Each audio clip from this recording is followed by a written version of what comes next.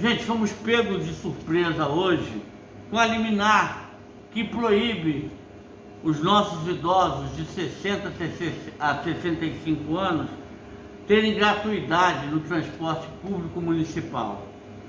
Tamanho é a gravidade dessa liminar que nós é, demos entrada para o presidente do Tribunal de Justiça para que ele possa rever essa decisão.